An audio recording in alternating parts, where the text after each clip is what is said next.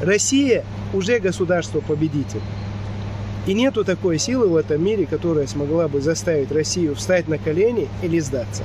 Поэтому еще раз, победим однозначно. Ахмат сила, Россия мощь, Донбасс, добро пожаловать домой. Все одним словом, ихними рейхстагами. Нам для того, чтобы воевать на передовой, эти мобили... мобилизованные люди не, не нужны. Они нам не нужны для того, чтобы они э, пошли кого-то уничтожать противника.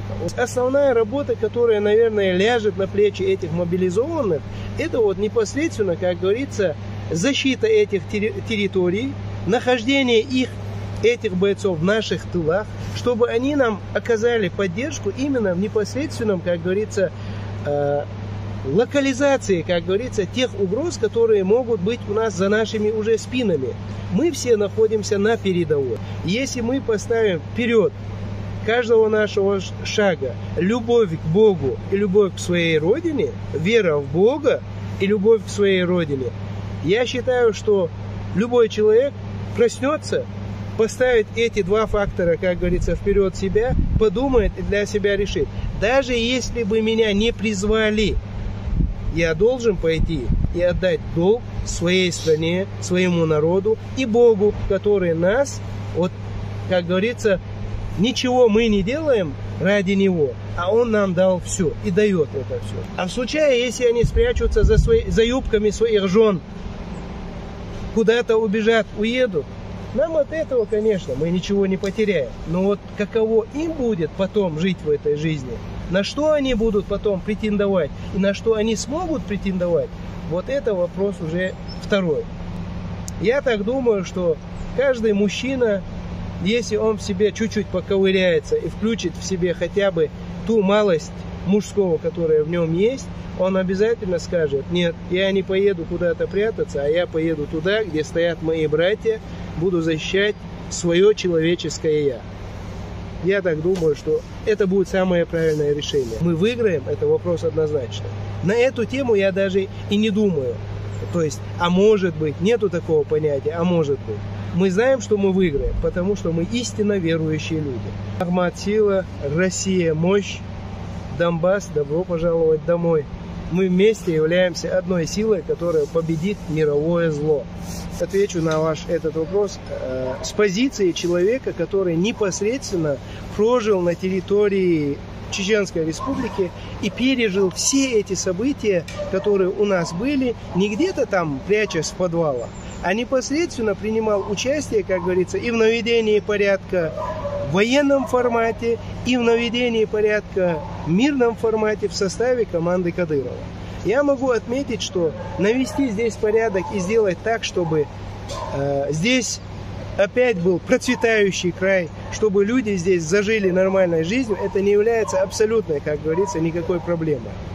Для нас сегодня самое главное сделать все для того, чтобы наш противник уже конкретно, как говорится, потерпел поражение. Значит, после того, как противник будет уже локализован и уже на территории Донбасса уже не будет э, представителей э, укрофашистов, с этого момента я так думаю, что для того, чтобы навести порядок здесь, нам не понадобится много времени. Потому что Россия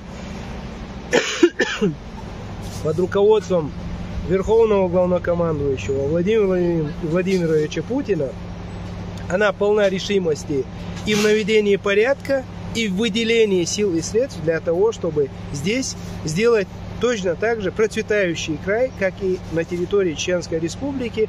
Э, и я, я хочу отметить, что действительно вот у нас есть пример Рамзан Ахматович Кадыров, который возглавил Чеченскую Республику и буквально в короткие сроки сумел сделать так, чтобы наш край, Чеченская Республика, чтобы стала процветающей. В России люди сейчас уже Донбасс это тоже Россия однозначно. В России люди очень трудолюбивые. То есть население России, оно умеет строить. Нам надо сплотиться и сделать так, чтобы это все воплотить в жизнь. А то, что это будет воплощено в жизнь, и мы заживем так, что все государства, которые сегодня поливают Россию грязью, наоборот, будут завидовать нам и пытаться, наоборот, с нами каким-то образом подружиться, будут еще они, попомните мои слова, они еще будут сами, как говорится, судить руководителей своих государств, которые сегодня сделали так, чтобы Россия стала их врагом.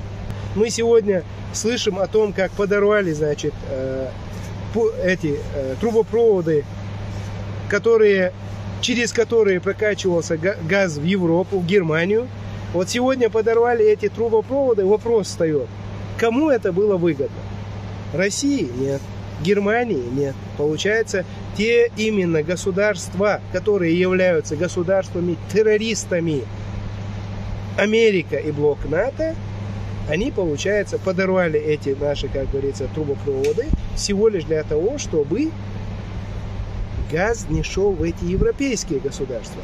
Америка любыми путями пытается сегодня ослабить Европу. Будем надеяться, что народы этих государств тоже проснутся. Это вопрос только времени. Нам надо с вами сделать так, чтобы мы им помогли проснуться, а мы им поможем проснуться. Пусть все увидят, насколько они безжалостно относятся к народу Украины, к народам Европы. И в этом случае они тоже начнут понимать и приходить к мысли, что им надо выходить на улицы и сметать свои руководства своих государств. Это тоже вопрос времени. Политика Украины, ну, мы с вами должны понимать, что там есть, как говорится, ЦИПСО, которое делает очень хорошо свою работу. И для того, чтобы население каким-то образом, как говорится, чтобы оно начало плохо относиться или там подумало, что с нашей стороны там мы вытворяем какие-то вещи, конечно, им надо это все выносить в массу в таком формате, что вот мы самые плохие люди, что от нас только одна проблема. Ну, хвала Всевышнему, мы с вами знаем, что все населенные пункты, города, которые были освобождены непосредственно с помощью наших подразделений, они прям сначала, как только мы начинали входить в эти населенные пункты, сразу начинали получать гуманитарную помощь из фонда имени первого президента Чеченской Республики Ахмад Хаджи Кадырова.